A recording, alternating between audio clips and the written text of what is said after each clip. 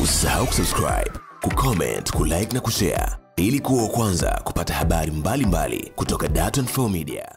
Wabunge wanaingia kwenye lango hili mahususi kabisa ambalo linawapeleka kwenda kupiga kura ya kumchagua nani ni spika wa bunge la Jamhuri ya Muungano wa Tanzania mara tu baada ya Job Yustino Ndugai kujiuzulu nafasi yake. Na nakutana hapa na Mheshimiwa Halima Mdee. Habari za asubuhi Mheshimiwa. Asa fresh mambo. Safi kabisa.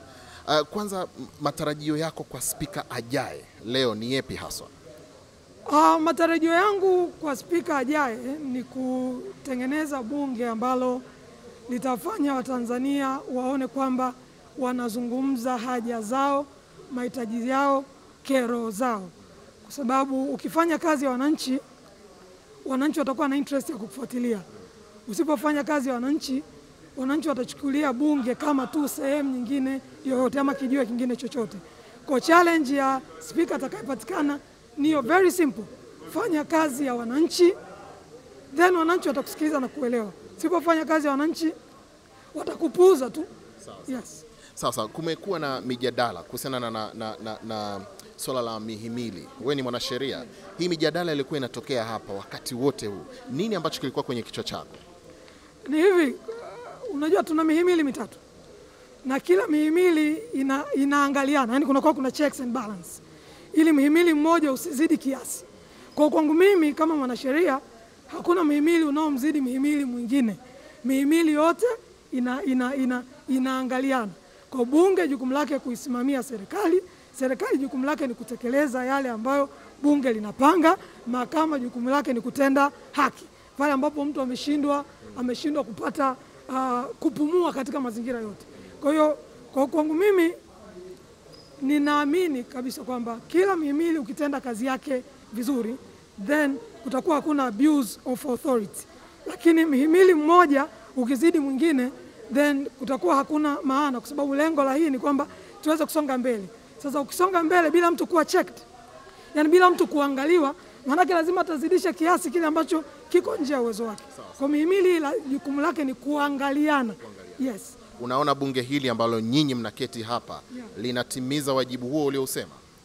Unajua ni ngumu sana pale bunge linapokuwa dominated na chama kimoja kuweza kufanya hayo, kwa sababu ni ngumu sana kutenganisha serikali na chama, yaani ni ngumu sana. Kwa kwa mantiki hiyo tunakuwa tunasema yes, kuna checks and balance, lakini katika uhalisia haipo, kwa sababu huku kwenye serikali ndo kuna chama, kwenye bunge kuna chama, then at the end of the day watatend kuangalia maslahi ya chama yako wapi zaidi. Kwa unapokuwa na bunge ambalo almost 95 to 96% ni chama kimoja, then practically hilo jambo halipo. Lakini ukiwa na bunge ambalo ni 50-50 eh, kitu kama hicho unaweza ukasema, sababu kuna maamuzi mengine hawezi kufanywa bila kutegemea upande mwingine. Sawa sawa. Yes. Kwa kifupi sana, leo kura yako pengine itaenda kwa nani? Sijajua bado mpaka niangalie wagombea na watakavyojieleza. Sawa. Kuna ambao wana wasiwasi pia, pengine akija eh, spika tofauti na ambaye ana, ana, yupo upande wenu, nafasi zenu zipo hatarini. Mimi siamini kama nafasi zetu ziko hatarini kwa namna yoyote, kwa sababu hatujaja hapa kwa bahati mbaya. Una maana gani? Nasema hatujaja hapa kwa bahati mbaya, tumekuja hapa kama wabunge, wawakilishi wa chama, tumekuja tumeapa hapa na tunaendelea na uwakilishi wetu kama kawaida. Mheshimiwa Bulaya, mambo vipi? Safi za kwako? Safi, heri mwaka mpya. Na wewe pia? Unazidi kupendeza mheshimiwa. Ah, namshukuru Mungu uzee mwisho Chalinze. sawa sawa. Mnaenda kupiga kura ya kumpata spika wa bunge la Jamhuri ya Muungano wa Tanzania. Kwanza ningependa kujua kura yako ni kwa nani? Ah, mimi nita- nitawasikiliza kwanza, sijui umenielewa, afu kula ni siri. Mm -hmm. Nitawasikiliza, kikubwa nitaangalia nani mwenye uwezo, nani mwenye experience, kwa sababu issue sio kuchagua tu, unachagua kwa mazoea, unaangalia nani ana deserve kwenye hiyo position. Kwa ukizungumzia experience, maana yake unamaanisha Tulia. Nimesema unaangalia experience, unaangalia uwezo, si umenielewa? Kwa hiyo sasa hivyo vyote vinaenda sambamba. Kwa hiyo mtu anaweza akawa na experience hapo, kuna mwingine ana uwezo na CV zinatisha zaidi. Sawa sawa. Kumekuwa na mijadala kuhusiana na masuala ya jinsia ku- kuwepo kwenye mihimili. Wewe mtazamo wako ni upi kuwe- kuwepo kwa wanawake kwenye nafasi nyeti na kadhalika? Uh, kwanza lazima tujue uh, tunapoangalia uh, uwezo hatu- hatuangalii jinsia ya mtu, si umenielewa? eh?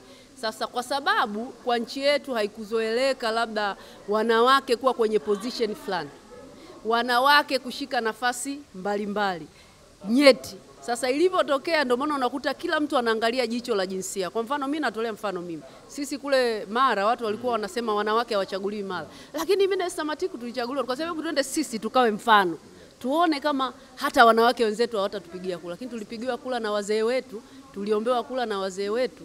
Kwa hiyo ni, ni, ni fikra tu ambayo ime, imejengeka. Ukiangalia wanawake ni wengi ni waadilifu na wanapokuwa kwenye position, sisi tuna ule uoga wa asili wa kutotaka kufanya vibaya.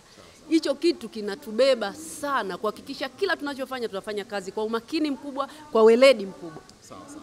Kwa kifupi sana, kuna watu wanahisi sasa spika ajaye anaweza akawa anawaweka nyinyi hatiani kwenye nafasi yenu ya ubunge.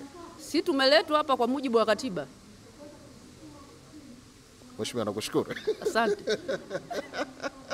Naam, Bulaya huyo hapo akizungumza nasi. Usisahau kusubscribe, kucomment, kulike na kushare ili kuwa wa kwanza kupata habari mbalimbali mbali kutoka Dar24 Media.